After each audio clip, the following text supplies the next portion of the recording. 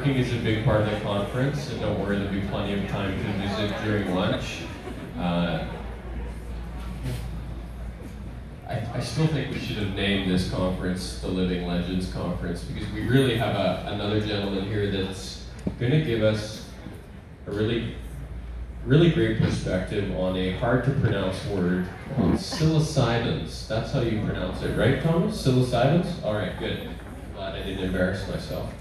So we are thrilled to welcome Mr. Thomas Hartle, a strong advocate for the use of psilocybin in end-of-life care. Thomas became the first Canadian, the first Canadian is joining us to receive psilocybin-assisted psychotherapy and is currently a passionate advocate for the therapy. therapy. So let's welcome this living legend to Saskatoon.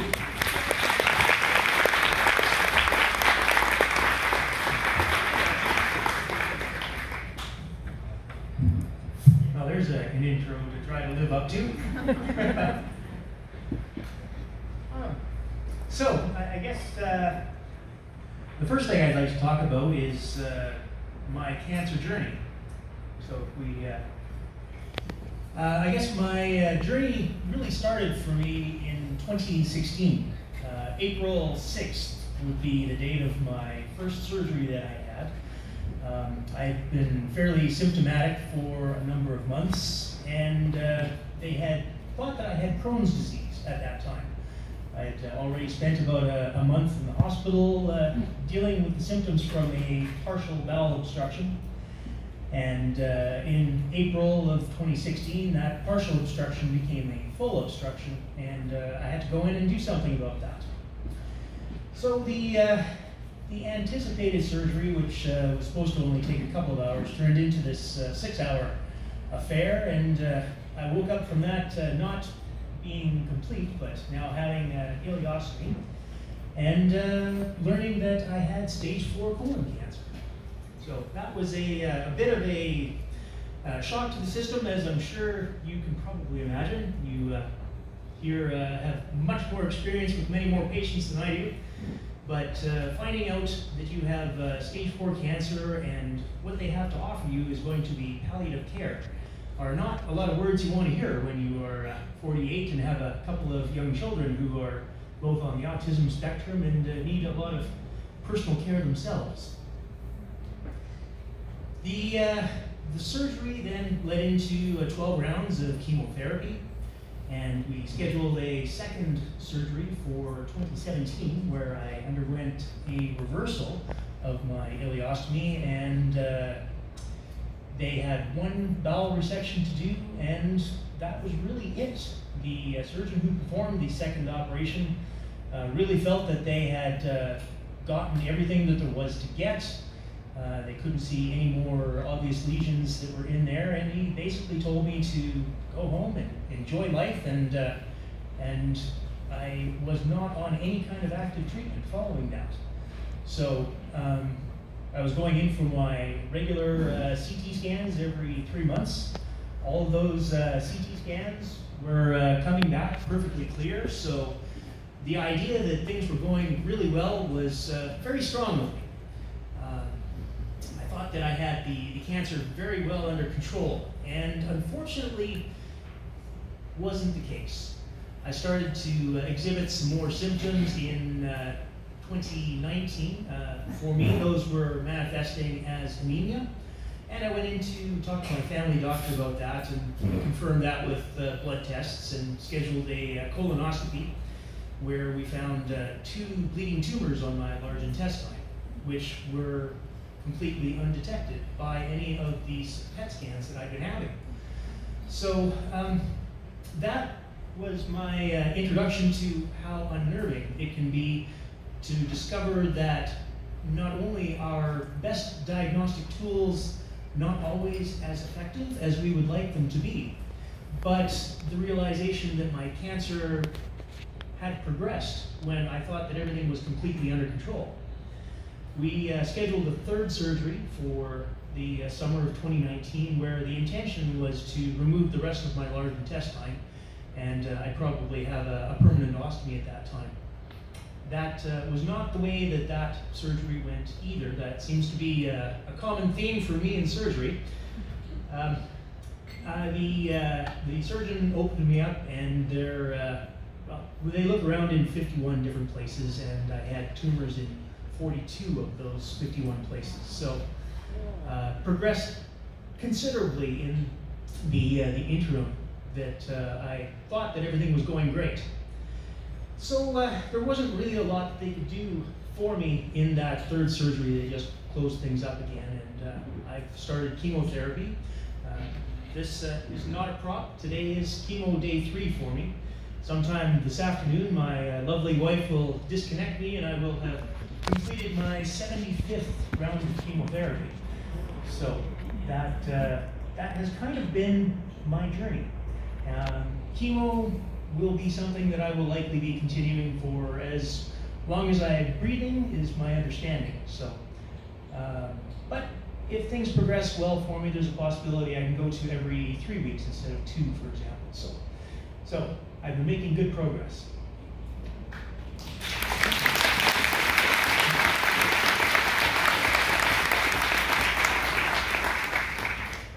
Now, my uh, my experience in learning that the scans were not effective in being able to show my disease.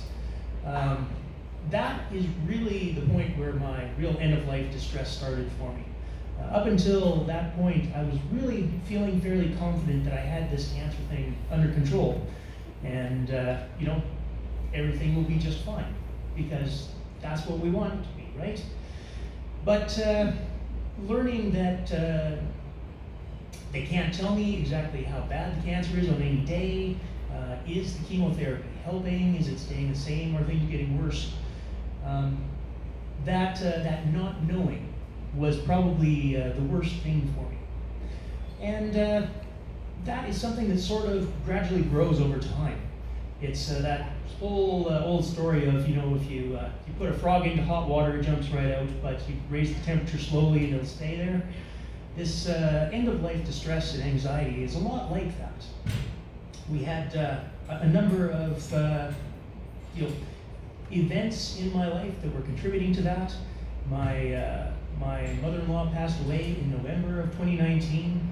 Uh, my father in law with stage 4 cancer came to live with us, and uh, he passed away about a month later in our home. my own father passed away in April following that. And uh, I had a niece of mine pass away from uh, adrenal cancer uh, a couple of weeks after that. So the first six month period um, in 2019 2020 uh, was really emotionally kind of rough, particularly with a number of people passing away from the, the same thing that I've had. And I've been sick with cancer for a lot longer than any of they were. So uh, the, the idea of uh, death feeling very intimate and uh, immediate was very present for me. Um, the funny thing about it is when you're under that sort of anxiety for uh, any kind of an extended period of time, it sort of becomes your normal. And you don't really notice the kind of stress and strain that you're under on a daily basis um, while you are in it. And uh, you know, I can say that after I've had uh, my psilocybin therapy, which I'll be getting to, the, uh, the only way that I really truly understood the kind of really deep anxiety that I was in was by its absence. And I think that's probably something that's common to a lot of people. We get used to uh, a lot of things. It's uh, like a kind of pain that is there all the time, but uh, in, in, the same way that you can get used to uh, the smell of paint in a room, this uh, constant state of discomfort is something that is just something you can get used to after a while, and you don't even notice it, even though it's having these physiological effects on you as well, which uh, is, is, something I will mention uh, in a little bit.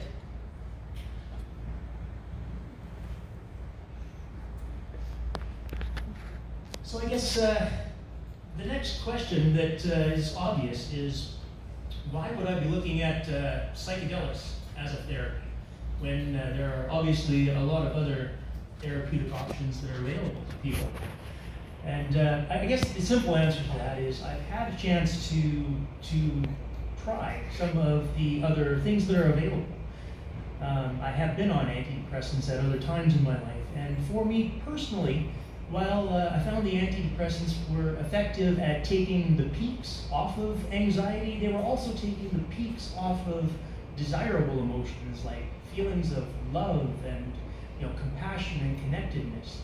So for me, I did not really feel like having my world be beige as a, a good trade-off for uh, getting rid of the anxiety. I didn't want to not experience anything in life. I wanted to uh, obviously be here and present for the experiences for the time that I've got left. And without knowing exactly how much that is, and I, I realize that nobody really knows how much time you have left, but uh, having terminal cancer makes that so much more personal and immediate. It uh, adds an urgency to things. And I didn't want to miss out on any of those experiences that I could have been having and sharing with my family. Um, I'd had some limited success with uh, things like uh, meditation and uh, some cognitive behavioral stuff, but um, really the, uh, the anxiety that I was experiencing some days would uh, have me in a state where you're so overwhelmed that you have to be in a dark room where it's quiet and just one more piece of input is more than you can possibly handle. Uh, to you can't be away from somebody because that uh, when you have cancer, any little ache or pain you have must be something terrible happening with the right? What else could it possibly be? And uh, you know, for me, uh, any any digestive issues that I would have, uh, because I've got tumors on my uh, small intestines, I'm under the understanding that at some point they have weaknesses, they could have a rupture, or I could have another blockage. So something as simple as a gas cramp was more than enough to put me into a full-on panic attack, thinking today's the day, right? So um, it was really robbing me of uh, my ability to function with uh, my family on a day-to-day basis. Um, I like to tell people that uh, in that sort of a state, that felt like I was actively dying. I wasn't really living my life at that point. Uh, I wasn't participating, and uh, quite frankly, it uh, it felt like I had to do something. I was extremely desperate to find an answer, to uh, to be able to return to some semblance of normality. So, um, I, uh, I had discovered that uh, psychedelic assisted psychotherapy was a thing.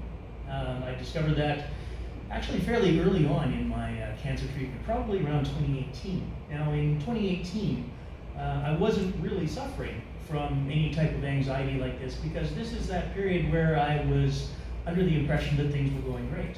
But I had that knowledge in my head and I had that squirreled away, and um, it was uh, very useful to me. And I revisited the, uh, the data for the Johns Hopkins study and uh, upon a better reading, discovered that they were getting something like 80% success rates with people who had literally the exact same condition that I had. So stage four cancer, end of life distress.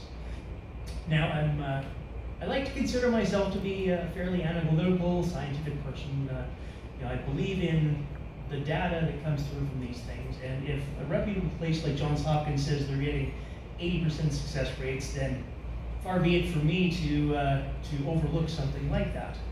So I started looking around for any clinical trials that were available here in Canada. Um, of course, back in uh, 2019 and early 2020, there was uh, literally nothing available.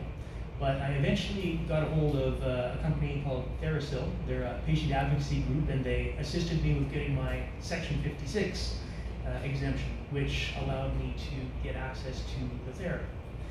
Um, the uh, treatments were performed by uh, Dr. Uh, Bruce Tobin, and uh, the I guess some of the key points that I'd like to point out is the difference between therapy versus a recreational use of psychedelics because there is a really big difference. And lots of people, you know, have experimented with uh, psychedelics of various kinds. They go to a concert, see pretty colors and, and things like that. And you know, you don't come out of the experience uh, stopping smoking or, or feeling bad about your, your end of life distress.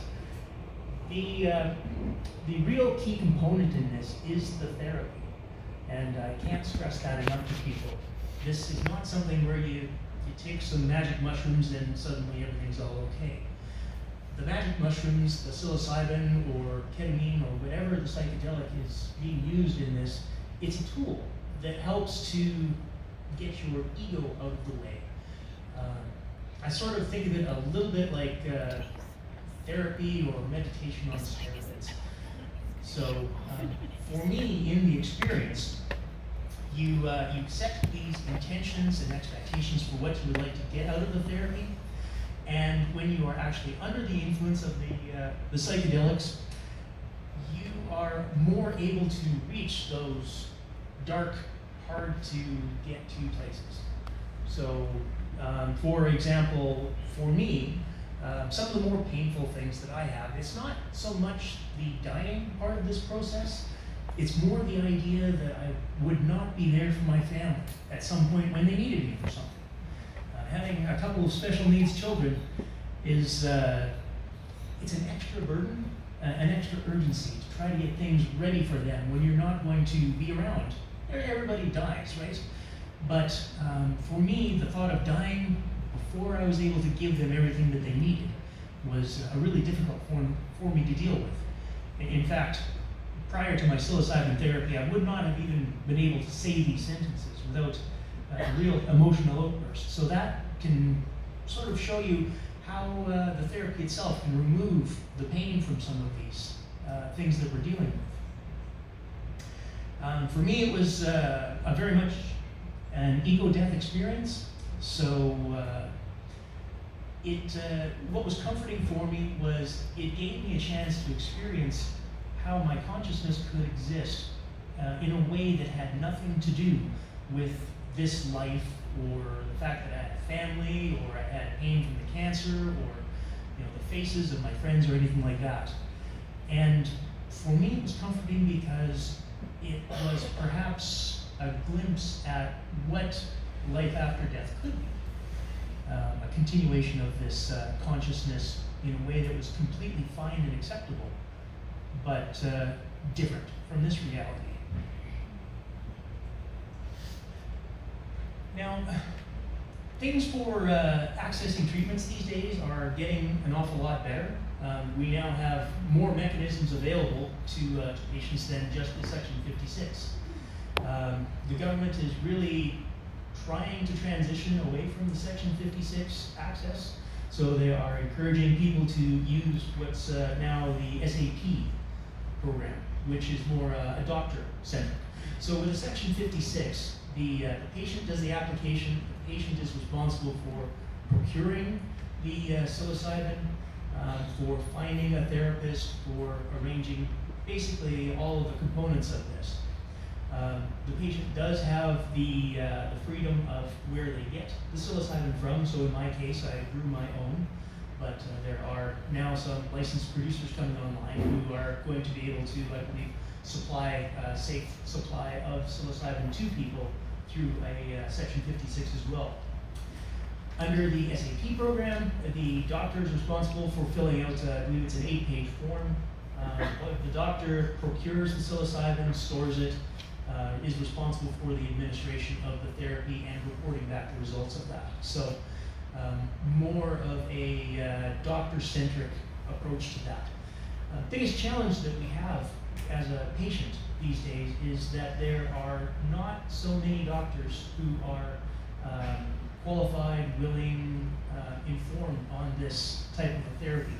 So if I can get any message out to the folks in the room here, that would be something that would be very, very helpful to patients like myself, would be uh, for as many medical practitioners to become informed in this process. Um, it's, it's definitely something that is very life-changing for a lot of people. So that, uh, that is something that I would really like to, uh, to get out there. There, uh, there is one other possible way that we can get uh, access to this. um, we've already heard about the, uh, the MAID system, and I'm sure a lot of you are very familiar with that. Now, my understanding of the, uh, the whole MAID system is that it is in place as a mechanism for alleviating suffering for people. And uh, I believe it's a very important thing as an option for, for patients. I most certainly know a lot of individuals who have signed up for the MAID paperwork, and uh, some of whom have had the psilocybin-assisted psychotherapy as well. Um, some of those people who have gone through the psilocybin therapy have uh, decided that they would now just like to let nature take its course. Um, so their, their fear of dying or the fear of the pain that they would be experiencing has been uh, reduced to the point where they no longer wish to, uh, to go through with the assisted death.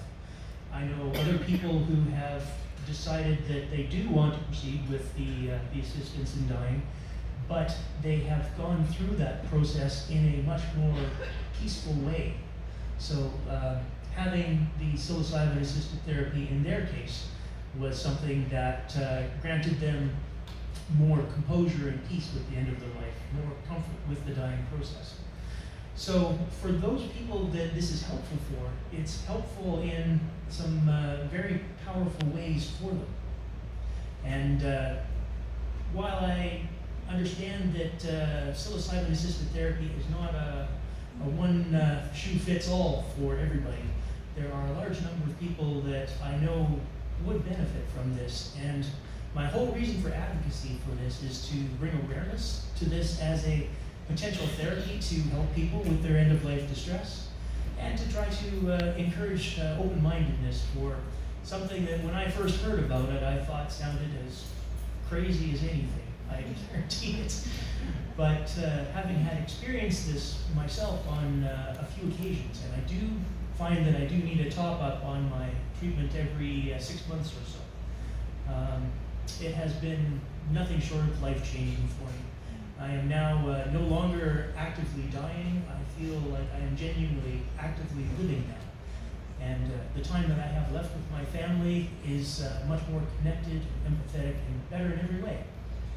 Um, for those of you who uh, do, uh, do care with people like myself, there's the, uh, the added bonus that you get from the better state of mind that I'm in. So I, I take chemotherapy every two weeks. I do get uh, inflammation in the areas where I'm affected by the cancer. But I find that uh, when I'm close to one of my psilocybin sessions, because I have this improvement in my state of mind and my emotional well-being, it also reduces things like the inflammatory response. So it may be worth looking into to see if things like these emotional uh, therapies are also able to give us better treatment responses going forward as well. So I'm hoping that there are some people here who may benefit from that little tidbit as well.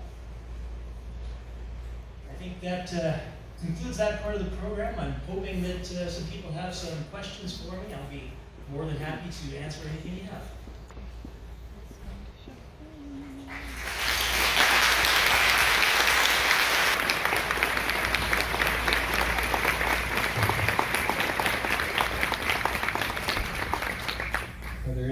Questions for oh right here. she only has one working hand and she got it up fast. Hi, that was a wonderful presentation. Thank you. Um, I was just wondering, is there a list of criteria that needs to be met for this um, administration, and or is it is it sort of uh, based on patient needs and doctors sort of uh, sort of assessment? Yes. So um, there are sort of different requirements between uh, the Section 56 and the SAP, but the general rules of thumb are uh, have other modalities been tried, and uh, is this treatment resistant? So uh, Health Canada is really encouraging other options to be explored prior to uh, going to psychedelic therapy. My, uh, my hope is, is that one day, of course, this will be added to the list of standard treatments that are available for people, but um, right now they are looking for more the treatment resistant and uh, urgent aspects as well. So uh, many, many of the people that I know who are stage four and getting this treatment, um, it is on occasion being um, administered really as a last, a last minute sort of a thing, which is unfortunate. Um, it would be great if you could administer it a little earlier and uh, it improved the quality of life that these people are able to have with their families. Hi. Um, so with this, where do you find out about it? Do I just Google, um, section fifty-six or, or the special assistance program? I would say your best bet for getting information would be to uh, look up the TheraPsil website. That's uh, TheraPsil, E uh, P S I L, therapsil.ca. Um, as a patient advocacy group, they are really well informed and uh, have a, a great deal of information on their website for the different programs, people that you need to get in touch with. So, a good starting point.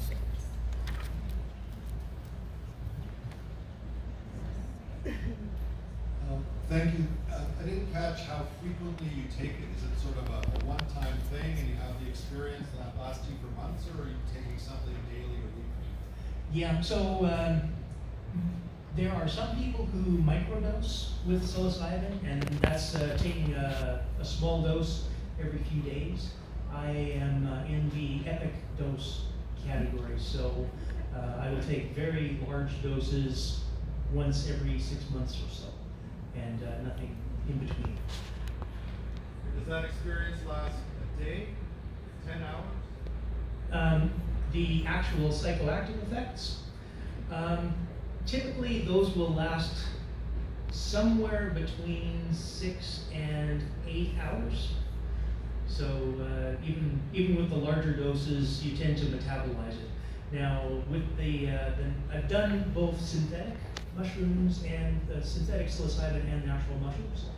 Um, the natural mushrooms have more of a, a, gradual onset and a gradual taper at the end of it. The uh, synthetic seems to be a much more uh, rapidly intense experience with a very rapid Um, I find that the tail end of the experience with the natural mushrooms uh, being the gradual decline and having a more of a plastic state of mind is good for the initial integration therapies that follow that.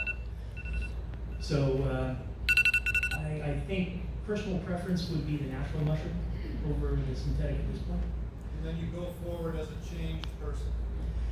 Unlike uh, antidepressants that change the way you feel while you are taking an antidepressant, the uh, effects of psilocybin change the way that I think about things.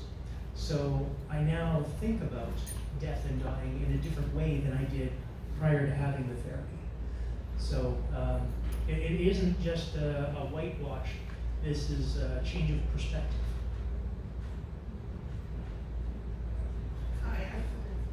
I'm just wondering if you can walk us through uh, one of the sessions. What do you experience, your thought process? Sure.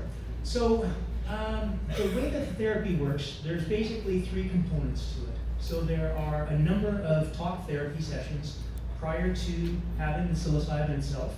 So that will cover things like what your expectations are going into it, what you're hoping to get out of it, some of the things that you can expect to experience while under the influence of the psychedelic. Um, people will have what they call bad trips. If you've got a lot of things that you're dealing with in your day-to-day life, those things don't go away when you're under the influence of a psychedelic. They're still going to be there and they will come up for you. And uh, it's something that you need to be prepared to lean into. So when I say that, um, when you try to uh, avoid these uh, unpleasant things under the influence of a psychedelic, that's what typically will lead to what they would call a bad trip. When you lean into the experience and you embrace that these unpleasant things are there, it gives you the mechanism to, with the plasticity that this causes, connect the uh, thing that you're trying to avoid with the I'm okay, I can handle this part of your brain. So this is where the real growth happens when you lean into and accept this uh, adversity that happens and you uh, embrace what's going on it makes these connections which are still there after the psychedelic wears off. And this is where the third part, the integration therapy, happens. So the discussion of the experience and uh, being able to find the meaning that it has for you. Those are uh, those are the things where the real healing happens in a long-term basis. So uh, when I say it's like therapy on steroids, the psychedelic allows you to get at some of these hot potato issues that you don't want to go anywhere near in your normal life, and to be able to process those in a little bit more of a pain-free way. And having done that, it changes your perspectives. We've got time. We have time for one more question, right here in the middle. Hi, this topic is very fascinating. Are there any negatives, like do you get sick to your stomach? Like, what actually happens when you're going through this trip? It is definitely a trip. so, uh, some common things that you will get out of uh, the onset of the psychedelic, particularly in the kind of doses that I take. Uh, there is commonly what they call come up anxiety. So, when your perceptions start to get altered, uh, there is quite often a feeling of anxiety to go along with things are getting a little weird. And uh, that is uh, really common, but a little more gentle with the natural mushrooms as opposed to the synthetic.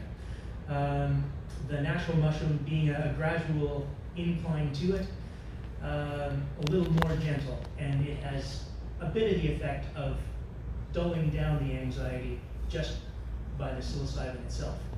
Um, the, uh, the synthetic was a little more abrupt, so uh, I experienced probably a little more anxiety with that at the earlier part of the trip.